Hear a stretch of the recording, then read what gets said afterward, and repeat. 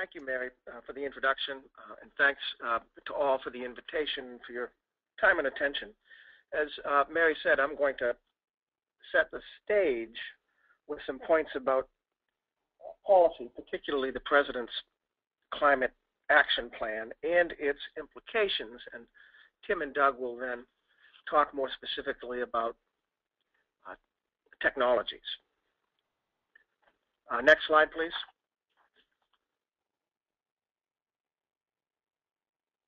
Let me uh, step back for a moment to put this in, uh, in context. Uh, up until now, we've had two stages of the climate change debate. And I, I, they really are two different versions of gridlock.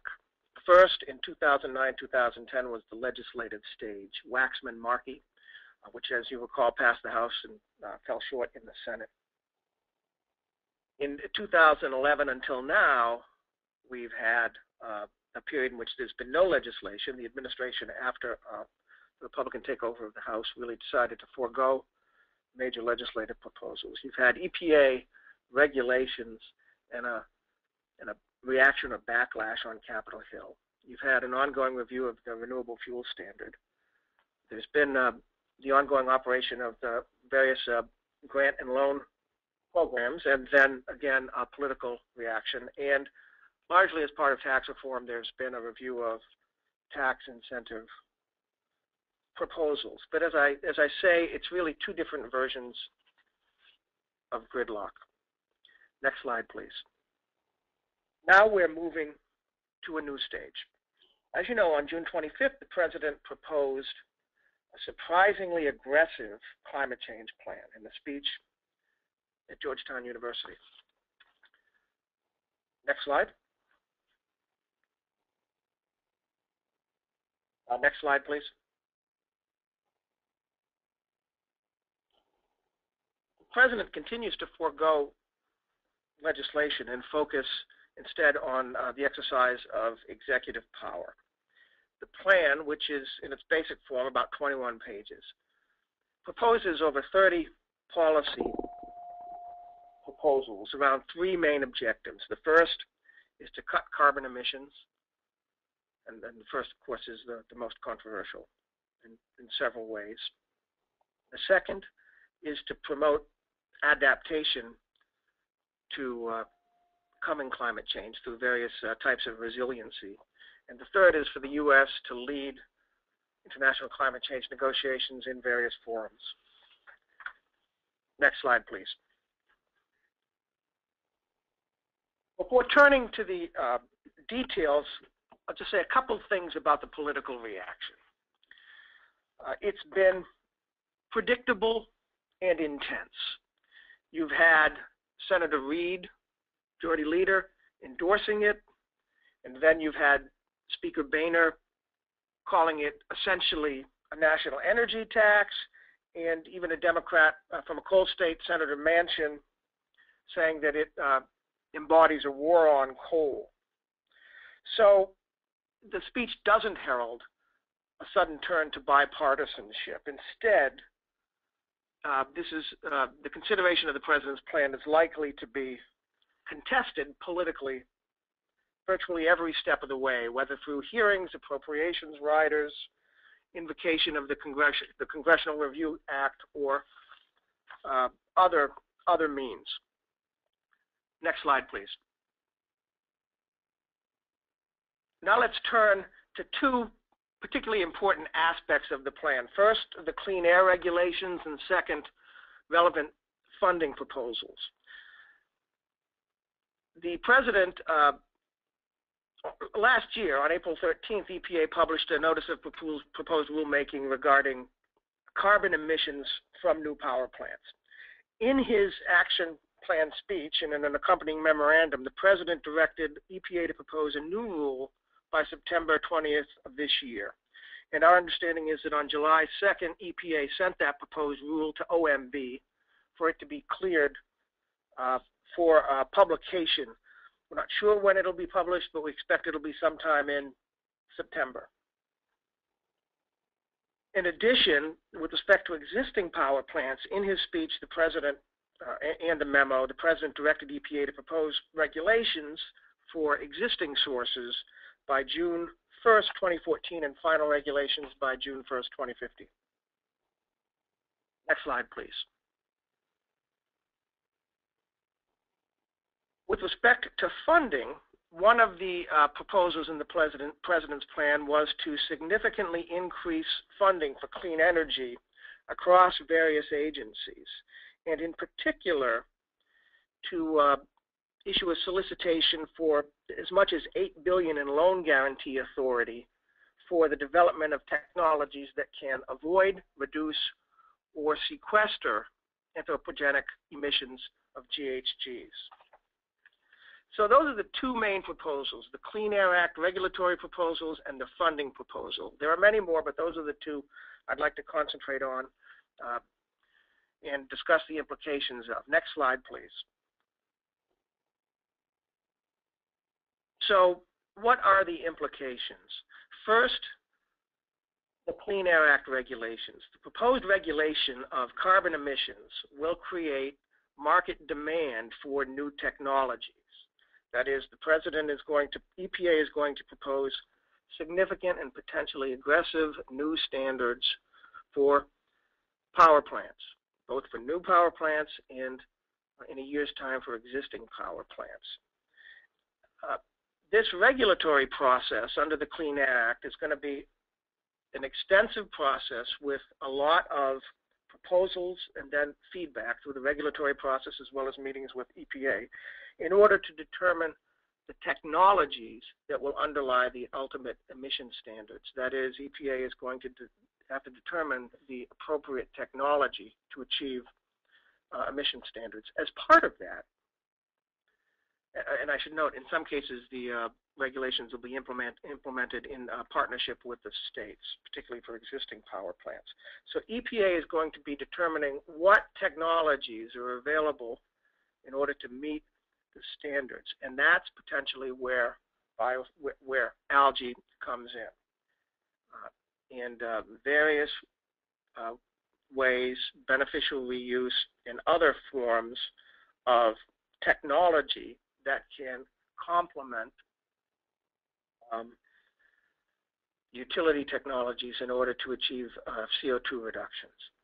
I'll note uh, in 2010, as part of the uh, proposed rule that was issued earlier, the one that really was superseded by the President's um, uh, speech on June 25th and by the upcoming regulation, uh, in, in, 2010, EPA issued uh, something called the Available, Emerg Available and Emerging Technologies for Reducing Greenhouse Gas Emissions from Coal-Fired Electric Generating Units. It's a pretty good paper, goes through sequestration, various forms, and other, other uh, capture technologies. It's 46 pages long, uh, and I haven't read it uh, closely I looked at it this morning. I didn't read it in detail this morning, but I did uh, do a universal search for the word algae, and it doesn't come up. Uh, nor does biological sequestration, beneficial reuse, etc. So when EPA is thinking about technologies that can be used, it's not clear to me that it's thinking uh, about the full range of technologies that are available. So there are two issues. One is making sure that as part of the policy process, the, con the consideration of uh, these various regulations, both by EPA and ultimately by states implementing them on the ground, that they're thinking about CO2 strategies that involve algae and uh, other uh, biological applications.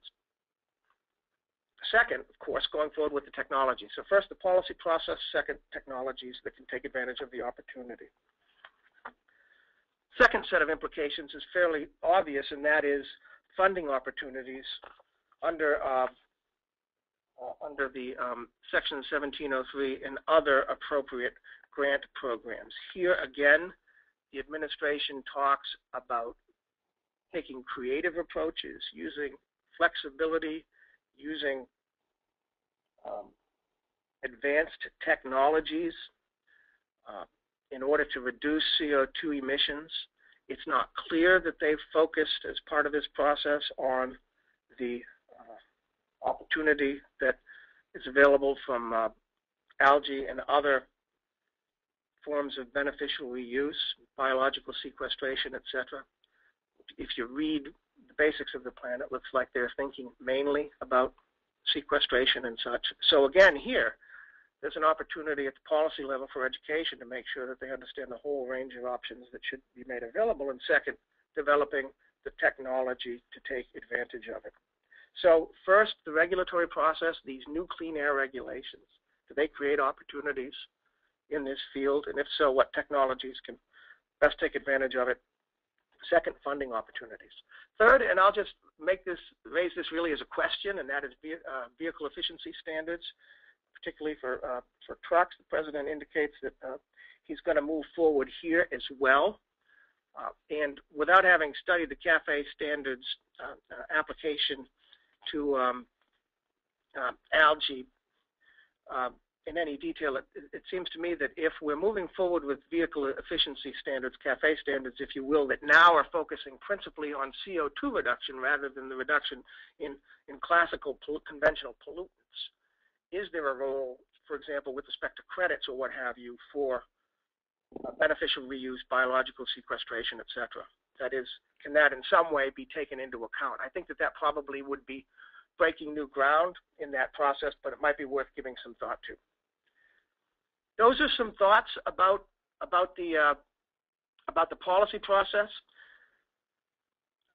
There will be two main opportunities to sum up. One the, on the regulatory side with respect to these major new clean air regula regulations, and second on the regulatory side, as we I'm sorry on the funding side. As the process goes forward, there'll be a lot of feedback. As I said, this is not going to be an easy road politically. There'll be hearings, there'll be pushback, there'll be uh, political reactions, but at the same time, there are likely to be many, many new opportunities. With that, I'll turn it back. Thank you.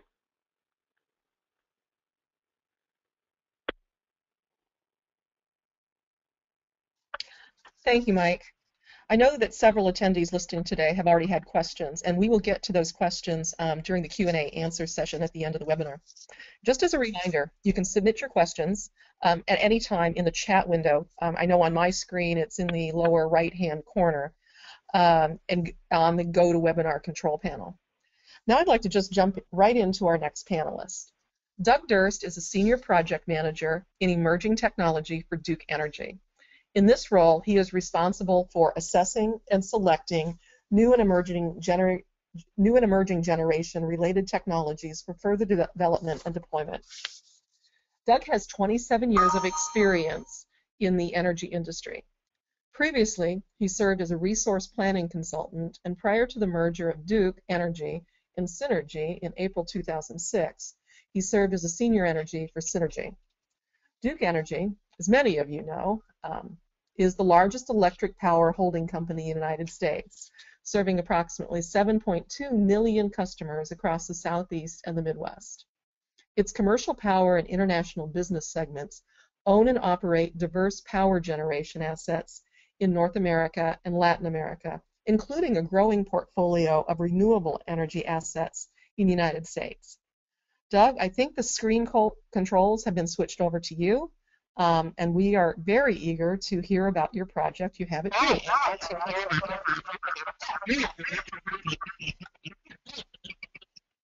Thank you, Mary. I'm going to be covering the carbon capture utilization technologies and sequestration. Duke Energy operates in six states in the Midwest and Southeast, and as Mary indicated, we're the largest utility in the United States, the second largest emitter of carbon dioxide. We produced about 125 million tons of CO2 every year. From the pie charts on the bottom right hand corner, you can see we're shifting our generation from coal to more natural gas. Natural gas produces half the amount of carbon emissions compared to coal, but still over 60% of our generation is coming from uh, fossil fuels. So if we want to maintain this diversified generation mix, we need to find a solution on being able to capture the carbon and make good use of it. Duke's strategy is to uh, modernize our generation fleet. And one example of that is Sutton Station, where we're retiring uh, three older unscrubbed coal-fired units and installing a combined cycle natural gas unit. This will be online later this year. Edwardsport Station came online last month. It's the largest integrated gasification combined cycle plant in the world. It is the cleanest form of coal generation. The way the technology works is you gasify the coal, then you remove the impurities, and then burn the resulting synthetic fuel. We have also left space and designed this plant so we can add carbon capture later. Cliff, Cliffside 6 came online last year. It's a supercritical coal-fired unit. And as you can see from the graphic in the bottom right-hand corner, between the boiler and the stack, utilities are pretty comfortable with adding post-combustion environmental equipment to meet regulations. The bar chart on the left shows the Duke Energy Carolina units from most efficient being on the left, the black bar there representing uh, Cliffside 6, and as you move to the right, those are your more older, less efficient units. So the strategy of retiring older units that are 50, 60 years old with newer units, better technology, more efficient and cleaner uh, is a good strategy. It's worked for Duke. Duke Energy is also the largest regulated nuclear generation fleet in North Carolina and South Carolina. We have 11 units there. Our 12th unit, Crystal River in Florida, was uh, just recently retired this year. But this nuclear generation that has zero carbon emissions, uh, when you average in that in with the rest of our generation mix, uh, that helps lower our CO2 emissions per megawatt hour. Carbon capture technologies, uh, there's three main types. Post-combustion, which uh, was like Cliffside, I mentioned there. Pre-combustion, like the Edwardsport IGCC, and oxy-fuel combustion. The U.S. government is doing a project in Illinois called FutureGen 2. The way the technology works is you have an air separation unit that pulls the oxygen out of the air, you combust the coal in a pure oxygen atmosphere, and you create a high concentration of CO2 on the output, which should be a, a lower cost method to capture the carbon. So once you've captured the carbon, what do you do with it? Here's the project that we did in at our East Bend station in northern Kentucky, where we injected the carbon back underground. This is a project that was done with the Midwest Regional Carbon Sequestration Partnership. You can also utilize the uh, CO2 Utilities have been focused on enhanced oil recovery. We're looking at that as an opportunity to have revenues coming in to help offset the cost of carbon capture and sequestration. We're also working with a Chinese company that uh, captures their carbon from a coal-fired plant, and they take the CO2 and sell it to a beverage company to uh, carbonate drinks. And Duke Energy is also cultivating algae to see what kind of beneficial byproducts we can make uh, from algae using our flue gas as the CO2 source. In 2009, the U.S. and China signed an agreement to work on common issue problems, one issue being uh, CO2 emissions. Uh, the two countries are bringing in their universities, national labs, and industry partners to work together to solve these issues, and, and, Duke Energy has joined in on that partnership. One of the projects is at Duke Energy's East Bend station on the left. We're cultivating algae there. And our partners are ENN from China and the University of Kentucky.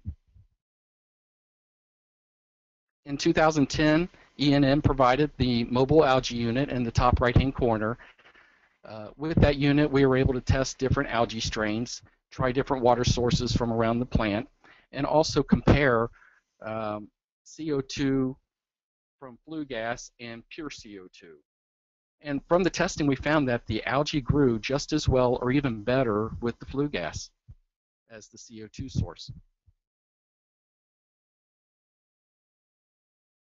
So now we've scaled the project up uh, now we are using the University of Kentucky's photobioreactor design at East Bend Station.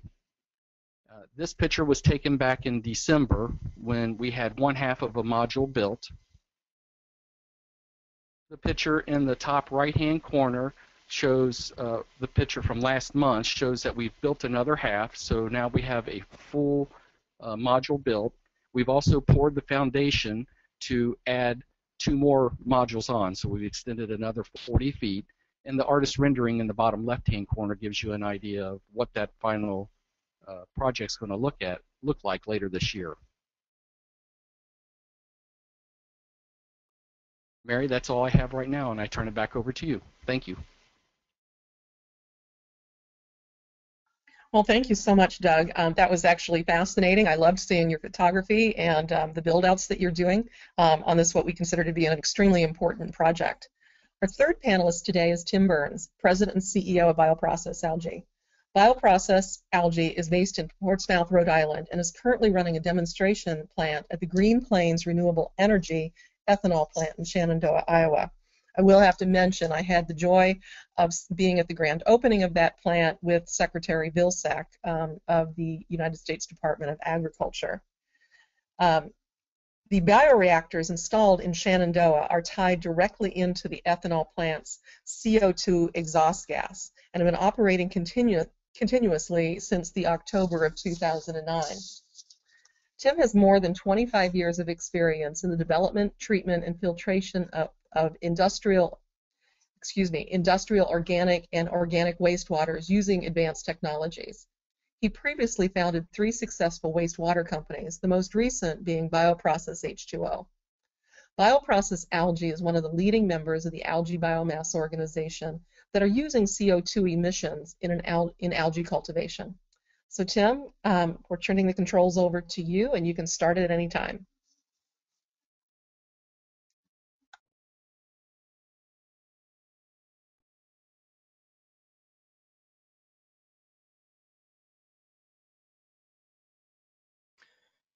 Tim, you may have to unmute yourself.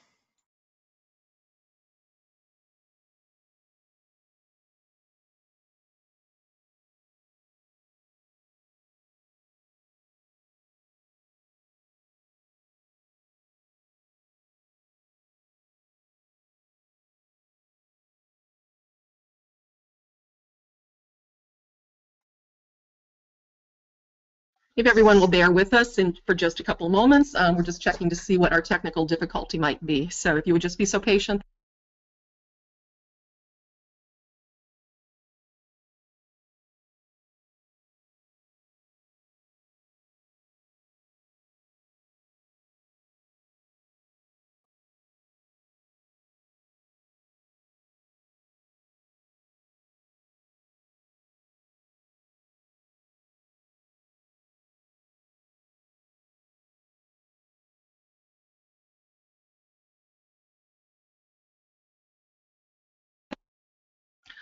Well, while we are waiting for um, us to work through the technical difficulties, why don't I turn, um, ask a couple of the questions that have come in um, in the meantime, and we can hopefully get these um, these questions um, answered now while we're working through some of these technical difficulties.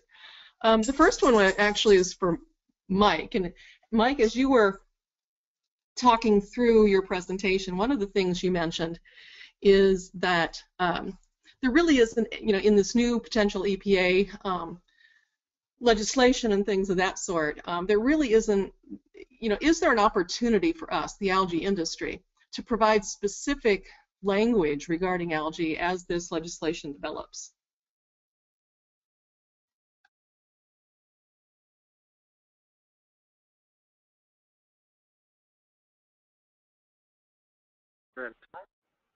Clean air rule moving forward, a major clean air rule, or, two really, if you think about first um, uh, for uh, for new facilities and second for existing facilities.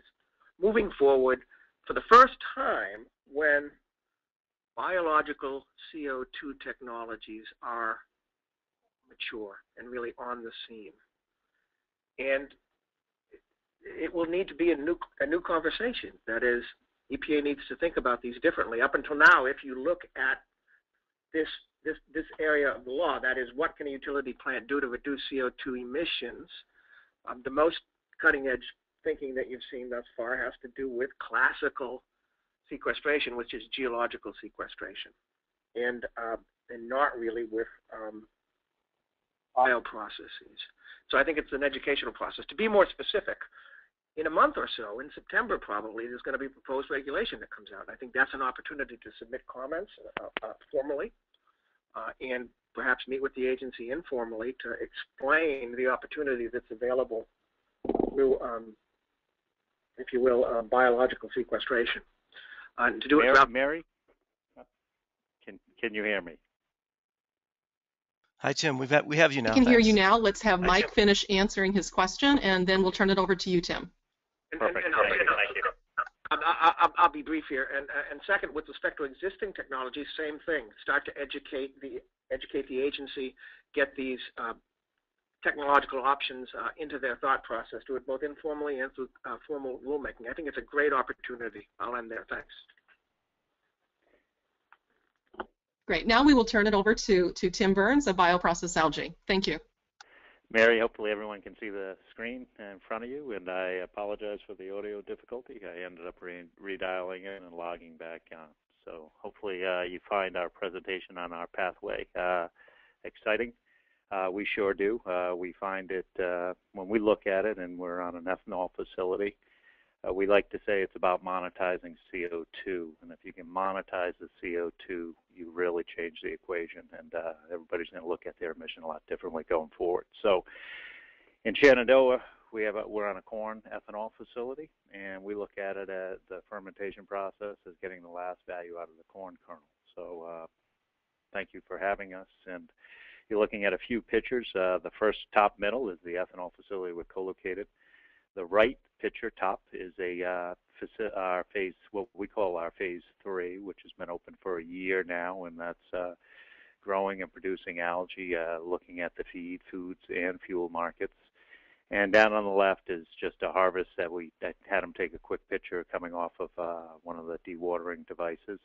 And then you're looking down one of our reactors in the center picture. And then uh, there's Swatha, uh, looking at some of the inoculum we grow up and that we feed into the seed stock. So let me move on to the next. Uh, I'm going to walk you through uh, the technology, how we integrate what we think the benefits are, uh, what we've demonstrated at scale, and what our product development path looks like. So I hope you find it interesting. Again, this was uh, what I call phase two that Mary uh, came to the opening with Secretary Vilsack. We have a about a uh, 10,000 square foot building in which we do inoculum uh, scale up for the farm and dewatering and product uh, development labs. So you're looking at the what I call the phase two reactors there uh, and the ethanol facility in the back. Those are about 100 foot reactors, smaller now when you see the new new reactors that we'll take a look at. To us, it's about monetizing carbon. Our technology, we we kind of look at it and say, how do you flip? Always try to flip the equ- uh, equation on its head. And what we've done is a lot of energy and a lot of a lot of capital was being spent trying to bring light into the liquid column. So what we we work in a uh, attached growth fixed film technology. We said let's bring the algae to the light. Inherently, you're looking down a uh, reactor of ours, and we're growing in a misted environment with CO2 in the head space, a lot of surface area. So think of it as a big mass transfer device, and we're producing uh, algae there that we harvest and are continually harvesting. So this picture was actually taken in March after being a snowy day, so I, we got a picture of it and we thought it was interesting growing year round. We're using waste heat from the facility, so keep that in mind. When we look at ethanol and the ethanol facility and look at uh, CO2, kind of a you know one thing we thought of was a nice rule of thumb. Obviously, the big producer utilities and, and such, uh, but the opportunity for algae you know is is enormous, and we look at it as a co-location. Uh, ethanol today represents about one percent of the CO2 stationary sources in the U.S. We believe that you can bring these technologies to bear on these co-locations. It's going to allow a lot of the growing to take place, getting after what we call stranded CO2 or opportunist CO2 in growing platforms. So I had this slide. I thought it was of interest. We put it together. That kind of showed the potential of algae and the potential of, you know, what what the growth areas could be out there. So when we look at commercial opportunities for CO2 mitigation and reuse, traditional ones are, if you look on the left of the screen, have been carbon capture and sequestration. The problem with those, they seem to be, they're not scalable with a cost-effective approach, it seems, at this point. When you look to the right, carbon utilization, that's where algae falls in. We think algae today offers the one profitable path with, I think our platform particularly offers a path of, uh, for a profitable path to using CO2 utilization. So we are really, really supportive of it. You can do it now. You can get efficiencies. You can grow products and probably the most profitable path. It's an autotrophic system. So the way we look at it is it's not going to take all the CO2 in a system, but that first 10 to 30% of a system you could have a profitable pathway and maybe use the remainder to mitigate and have it as a portfolio approach to your CO2 mitigation strategy. Now, if you look down here, our technology platform, what we like about it, the left, as I sh showed you in the earlier picture, you see the ethanol facility in the background. You see our growing and harvesting uh, technology in the, uh, in the forefront. got our dewatering uh, facility out to the right beyond those reactors. You can see the rooftop of. To us, it's about getting free waste streams input. CO2 is the most costly input when you're growing algae from an operating basis. So by being able to get the utilization out of that, you're, you're getting some advantages in your cost reduction product, which this is all to us. How do you get to a profitable path in markets that are of size? So today, we're taking CO2 from the ethanol facility and waste heat coming off of the uh, ethanol facility, which is an added advantage to them because they don't have to run their cooling towers as, as long. So it gives them a cost. It's a cost benefit to GPRE currently.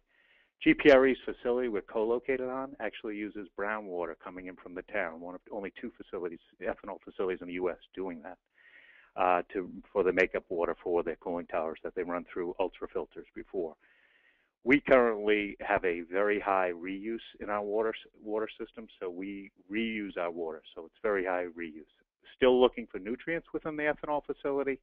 We currently don't have those advantages. Like I said, it's an autotrophic system. Uh, so what we're doing is it's a crop, and we recently had legislation in Iowa that changed that made algae growing in Iowa taxed at the same same rate as corn and soy on a per acre basis, which is a benefit to the industry in that we can scale there and not have prohibitive tax taxes when you're growing a product uh, uh, that that will reach into bigger markets with you know lower average selling prices. What we like about our system is that because we're growing on fixed films, uh, provide a lot of surface area. We have a higher harvest density the gas transfer is right in the headspace, so we don't have the cost. We've stripped out a lot of the water. We've stripped out about 95% of the water. So our harvest density is anywhere from two to eight times other systems out there. It's a direct benefit to the cost of dewatering and, and to the cost of downstream processing. So it gives us some advantages.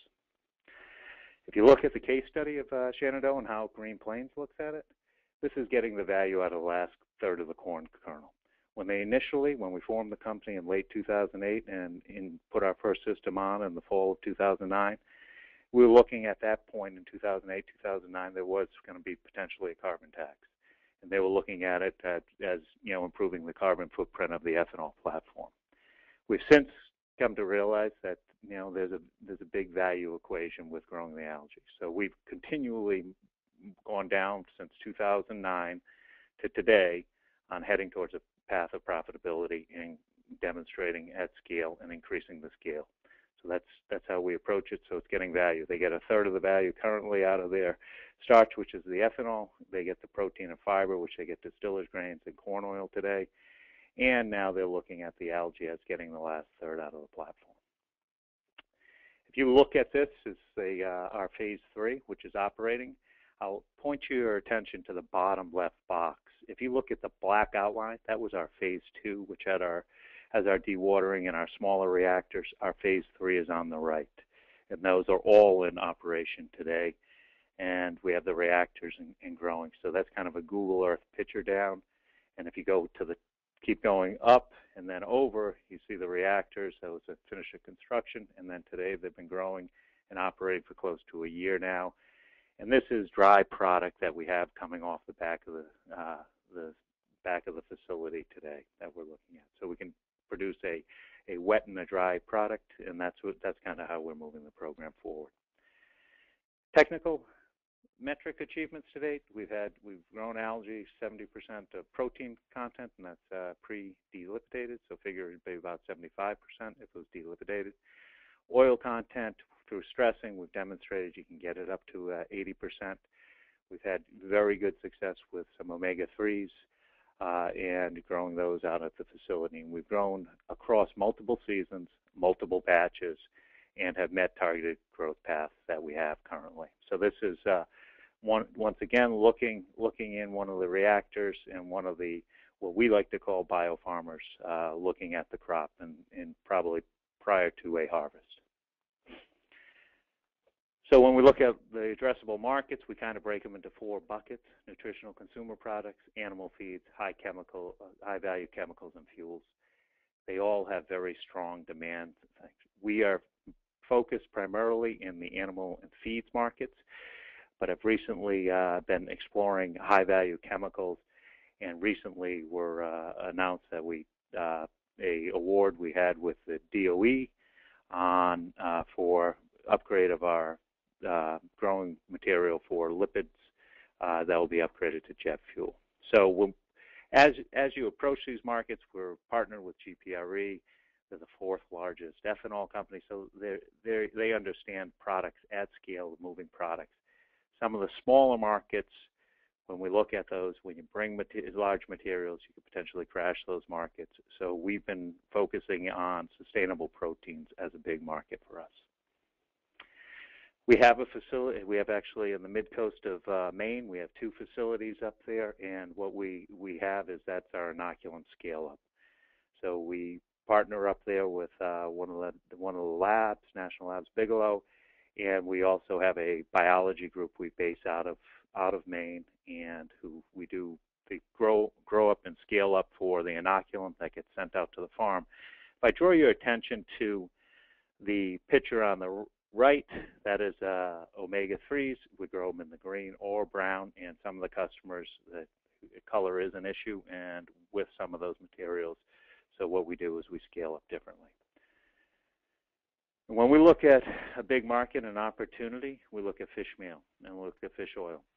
And if you look at what's happened in the fish meal and fish oil markets, those have been static for the uh, fish wild catch have been static for the last 15 years and it kind of the price decoupled from soy probably about eight to ten years ago. So it used to track with soy, say in the 300 400 dollar range about 10 years ago, and now it's traveled for the last 10 years. It's any, been anywhere from 1200 to say 2200 dollars a ton. So we look at it as an opportunity to mix with other products, dry distillers grains, some soy and algae meal, and some other additives to provide a sustainable, vegetarian, low-cost, rich in EPA, DHA replacement product. These are some of these uh, products that we currently are growing out there. We grow some in, in depigmentize for some of the customers, and this is a comparative with our uh, product for fish meal replacement that we've had, and that's a price on the average selling price on a metric ton and the way it's tracked over the last 10, 10 15 years.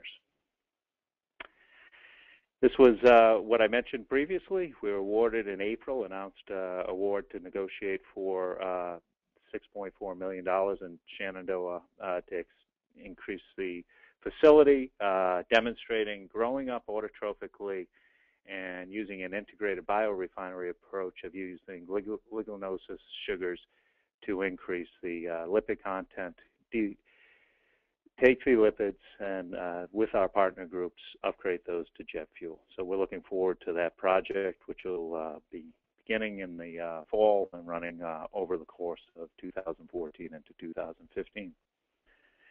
This is who uh, BioProcess Algae is and who the committed investors are. Green Plains Renewable. They currently have 10 uh, ethanol facilities. They represent close to 10% of the U.S. ethanol production in the U.S. Clarcor has been a uh, partner of ours, as a partner on a water company that I had started. Uh, they're a 100-year-old NYSE company, two to 2.75 billion dollar market cap, very conservatively run. And the Bio Holdings is our group. And uh, so we've been committed from the beginning, and I might, add one of the keys I think for companies, and if there are groups that are thinking of starting out there, we've had very committed uh, partners who are really interested in getting to commercial and the path to profits, which is important. And I want to thank you and thank Mary uh, and everybody for uh, allowing us to present uh, our commercial development. Well, thank you, thank you, Tim, and, and thank you to Mike and to Doug, and, and, and for those great presentations. Um, we do have a few questions. I'm going to do the first easy question first, and the, the first question is um, several people are asking whether the webinar recordings and presentations will be available later.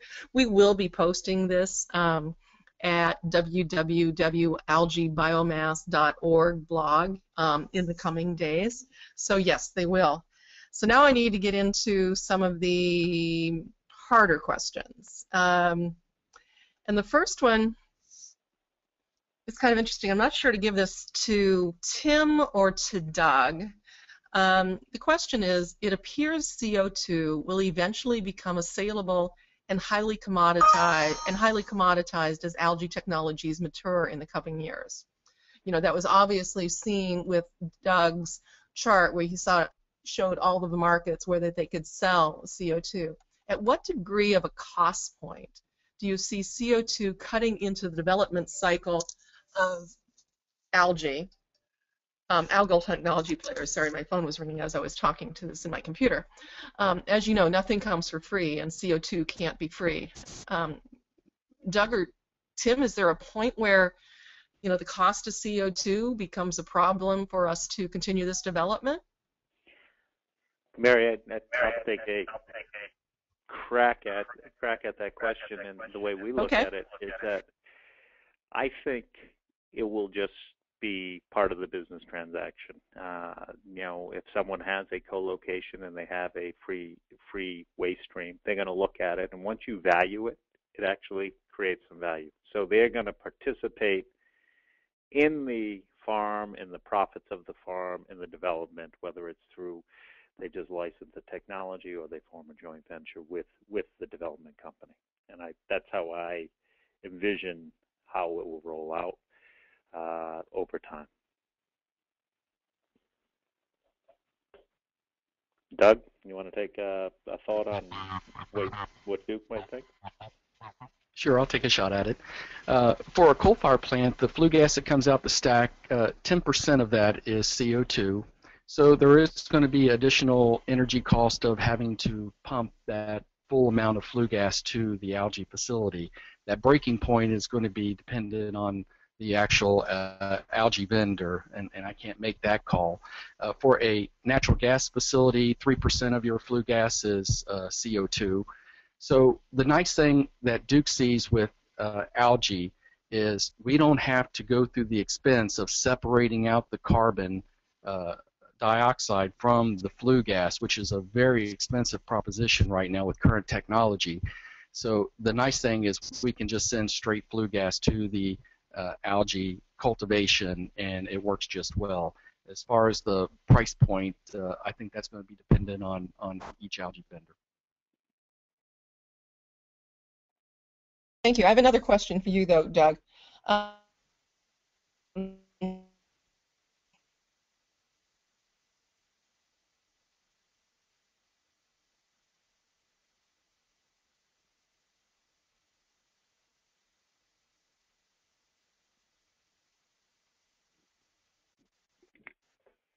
Doug, did you hear that question?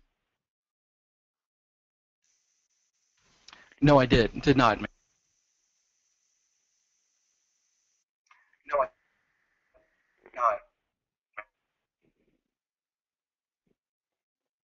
Um,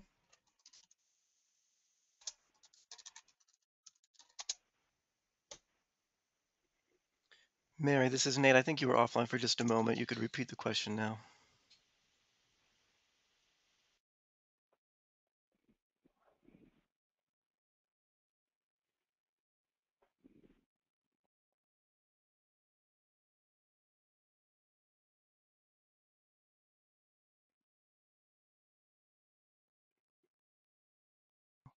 Hey, everybody. I think um, uh, Mary may have to uh, rejoin us in a moment. And so what I think I will do is, is um, uh, take over for a moment. Um, oh, maybe that's her. Mary, you back with us? No. Um, I think I am. Can you hear me now? Yes, we can. Thank you. Go ahead. Yes, I can, Mary. Okay, great. Sorry, sorry. Somehow the audio said it was lost. Okay, so now I have to go back to the question. So this was um, this was regarding build out, and the question was how many algal grow models would it take to sequester all of the demonstration plant's CO2? Which I'm sure is a very variable question.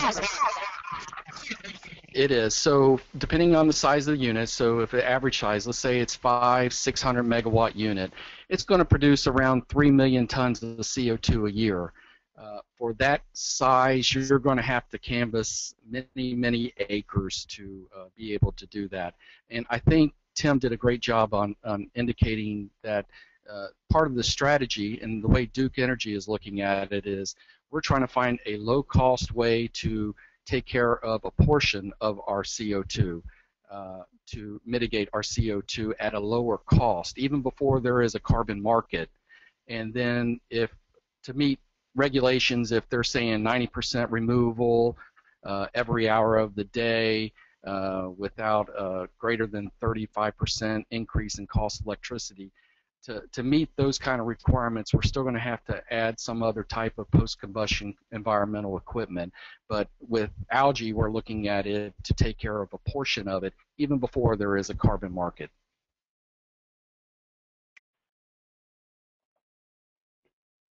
We had several questions like that under the same vein. Those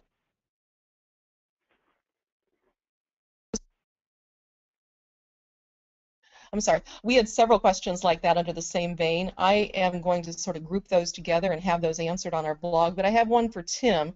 Um, you know, and I think this is interesting because people um, look at your Shenandoah, Iowa plant, Iowa plant. He said, there, Have you done any done in point the best suitable locations for the future? Mary, uh, I, I Um, can you hear me? Yeah, I, I did. I can't hear you, and I, I, I'm going to repeat back the question if there's anything.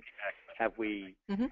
identified the best location for the technology Yes, for future plants. for future plants? We we look at it in a in a way that's kind of interesting, and say if you can grow a tropical in Shenandoah, Iowa, algae, you can grow it anywhere.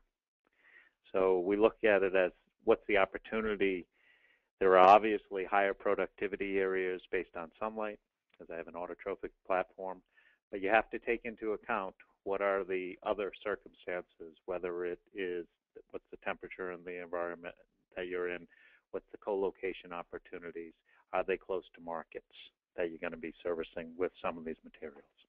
And you have, we are very driven by techno-economic modeling in our platform, and we kind of continually revert back to the modeling. So we look at the ethanol facilities, and I'll tell you because they have a pure CO2 stream as a great, great first facility, or, or I should say, first avenue before, such as a utility, which we have look at as a next stop to go into. But it, it offers a great they understand co-products, which we are a big believer in co-products of the uh, for the economic modeling, and they understand moving products at scale in commodity commodity industries. So we think the ethanol offers a good first mover advantage for us.